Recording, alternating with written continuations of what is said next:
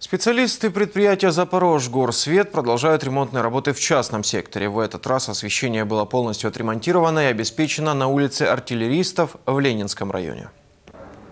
Мониторинг освещенности улиц коммунальщиками проводится постоянно. В ночное время этим занимается аварийная бригада. Таким образом было выявлено, что на улице артиллеристов освещение работает не в полном объеме, а потому за 4 дня все отремонтировали. Но есть и улицы, где текущим ремонтом коммунальщикам обойтись не удается. Есть объекты, которые можно восстановить, скажем, вот как он в состоянии таком, что восстанавливается. А есть объекты, которые уже э, не то что восстановить, его просто надо по новому переделать.